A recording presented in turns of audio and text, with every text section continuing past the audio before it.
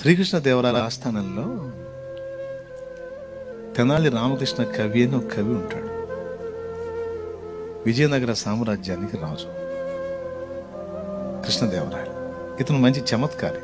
ఓ రోజు సభ జరుగుతుంటే ఒక అతను వస్తాడు.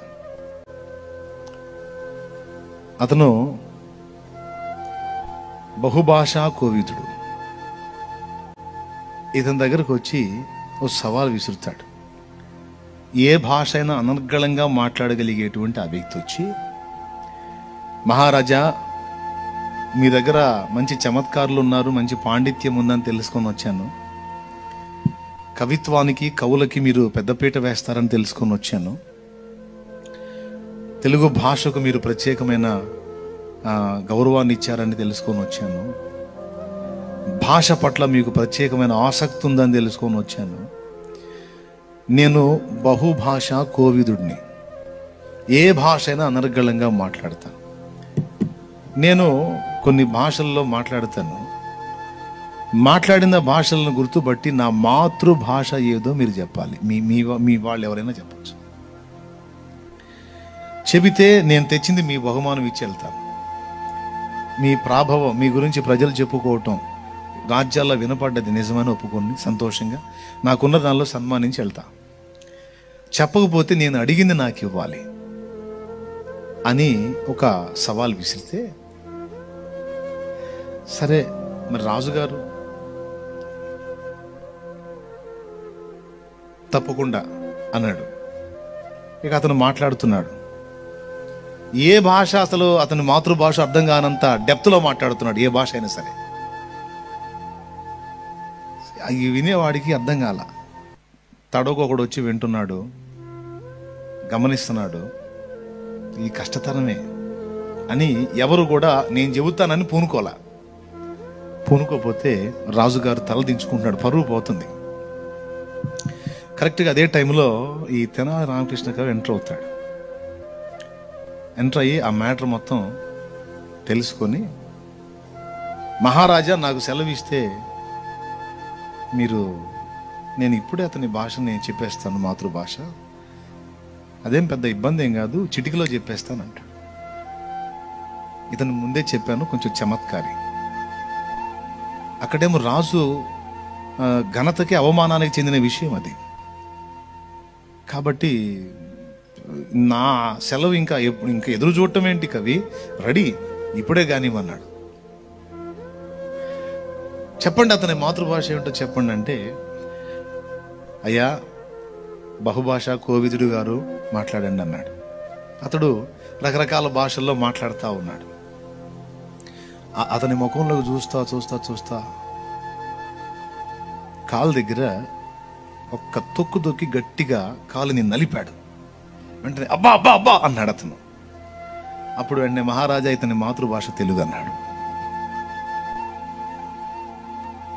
మాతృభాష తెలుగు. ఎందుకంటే అన్నీ బాగున్నప్పుడు అందరు రకరకాల భాషల్లో మాట్లాడతారు కానీ బాధ కలిగినప్పుడు మాత్రమే మాతృభాష వాడతారు. అంతేగా? అంతేగాని బాధ కలుగుతున్నప్పుడు మాతృభాష అబ్బా అబ్బా అంటే తండ్రి తండ్రి. వెంటనే భాషను మార్చి పప్ప పప్ప అనరగా? బాధ కలిగేటప్పుడు. Daddy daddy అనరగా? అలవాటు అబ్బా అబ్బా. కాబట్టి మాతృభాషని గుర్తుపట్టాలంటే బాధలోనే. కాబట్టి అది అతని మాతృభాష అంటే వెంటనే అతను ఒప్పుకొని మహారాజా నిజంగా ఇంత చమత్కారులు ఉంటారని అనుకోలేదు. నిజమే నా మాతృభాష తెలుగు ఇది కానీ అతను తెచ్చింది ఏదో ఇచ్చి నమస్కారం చేసుకుని వెళ్ళిపోతాడు. లేకపోతే అతడు అడిగిందంతా చేయాలి రాజు. సరే రామకృష్ణ కవి నా పరువు నిలబెట్టావయ్యా అని ఎవరక్కడ? చిత్తమ్మ. ఇతనికి బహుమానం ఇవ్వండి అంటే ఒక దేశాన్ని ఒక పాత్ర నిండా బంగారు కాసులు నిండా నింపి అతనికి ఇస్తారు. నెత్తి మీద పెట్టుకొని వెళ్తుంటాడు. వెళ్తుంటాడు ఇక. మధ్యలో జారి కొన్ని కింద పడతాయి. ఆ పాత్రలో కాసులు కింద పడతాయి. ఫుల్గా ఇస్తాడు అలా సంతోషభరితుడు అయిపోయాడు కదా. ఫుల్గా ఇస్తాడు. కొన్ని కింద పడితే ఇతను ఆ నెత్తి మీద ఉన్న పాత్ర దించి ఆ కింద పడ్డ కాసులు ఆ కూర్చున్న మంత్రి ఆ మిగిలిన కవులు ఇంకా మిగిలిన వాళ్ళు అధికారులు వాళ్ళ సింహాసనాల కిందకి వెళ్తే వాటి కింద వెతికి వెతికి వాటి కిందికి వెళ్ళి మరి బోర్లబడి ఆ కాసులన్నీ ఏరుకుంటుంటాడు. చూసే వాళ్ళందరికీ చండాలంగా అనిపిస్తుంది అది. పాత్ర నిండా కాసులు ఇచ్చాను. ఏది? రాజుగారికి కూడా. ఇంత కక్కుర్తి మాలోకమా ఏదో ఓ పది ఇరవై కాసులు కింద పడ్డాయి అనుకో వాటి కోసం అంతసేపు పడి పడి వెతుక్కోవాలా? డబ్బు విషయంలో ఇంత కక్కుర్తా? రామకృష్ణ కవికి అని రాజు కూడా సిగ్గుపడతా ఉంటాడు. ఛీ! నేక రాజు ఉండబట్టలేక రామకృష్ణ కవి ఏం చేస్తున్నారు మీరు? పాత్ర నిండా నేను బంగారు కాసులు ఇచ్చాను. నాకు ఇవి చాలవు అంటే ఇంకొక పాత్ర ఇచ్చేవాడిని. ఎందుకు అంత కకూర్తిగా ప్ర- ప్రవర్తిస్తున్నారు? ఇప్పుడే సంతోషపెట్టారు మళ్ళీ ఇప్పుడే బాధ పెడుతున్నారు. మానండి మీరు చేసే పని అన్నాడు. ఉండు మహారాజా అని ఇంకా వెతుక్కుంటూనే ఉన్నాడు. చివరికి రాజుకి కోపం తీవ్ర స్థాయికి వచ్చి వెళ్ళిపోయింది. ఆఖరి గట్టిగా గద్దించబోయేలోపు ఆఖరి కాసు కూడా చిక్కింది. అమ్మయ్య చిక్కింది. అని తీసుకొస్తే రాజు నేను చెప్తున్నా నీకు బుద్ధి లేదా? అడిగితే ఇంకో పాత్ర ఇస్తా కదా.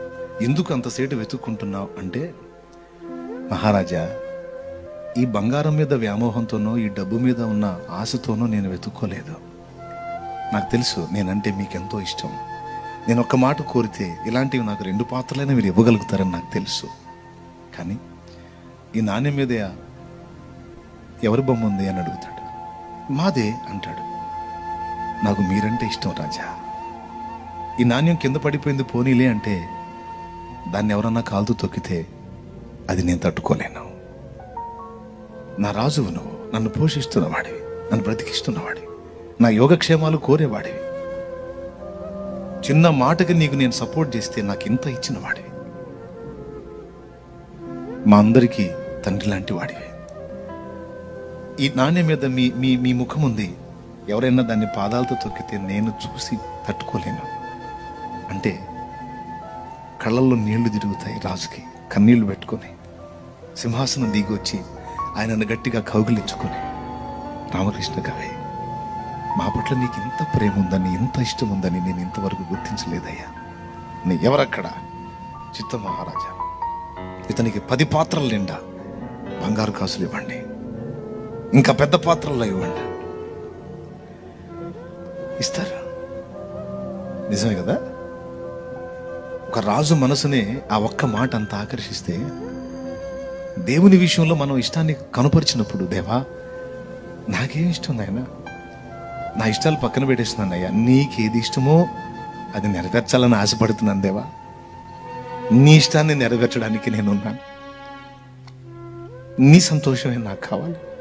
నీ చిత్తమే నేను నెరవేర్చాలి. అందుకోసమే నా బ్రతుకుండాలి నీ ఇష్టం నెరవేర్చినప్పుడు నీ చిత్తం చేయనప్పుడు నీ సంతోషాన్ని వెతకినప్పుడు నాకు ఈ జీవితమే వద్దయ్యా. నాకు బ్రతికే వద్దు. నాకు నువ్వు కావాలి. నన్ను ఈ భూమి మీద పుట్టించినందుకు నువ్వు సంతోషపడాలి.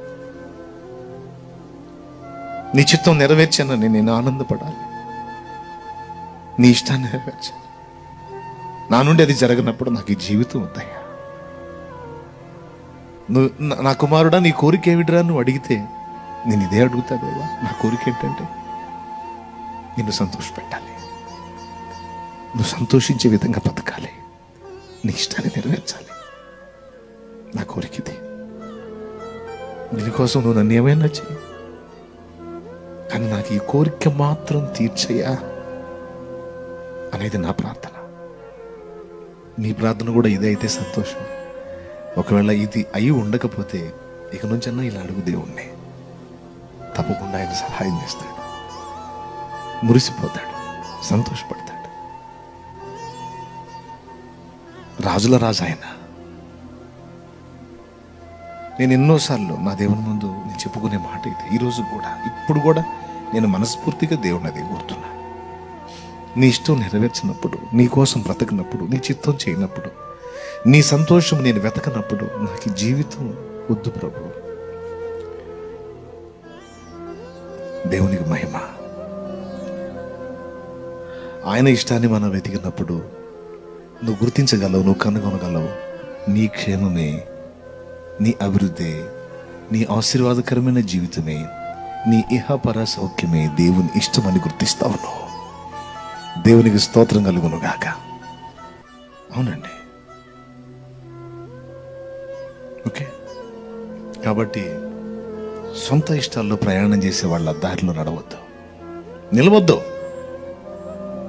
దేవుని ఇష్టాన్ని నెరవేర్చే పరిశుద్ధుల బాటలో నిల్లు.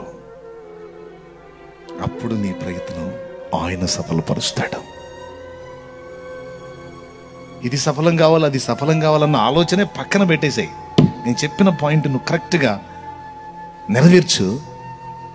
నువ్వు చూస్తూ వస్తావు ఇక విజయాన్ని. దేవునికి స్తోత్రం కలుగును గాక. చెప్పు గట్టిగా చెప్పు. నువ్వు జయ జీవితాన్ని చూస్తూ వస్తావు. ఫలితాన్ని పొందుతూ వస్తావు.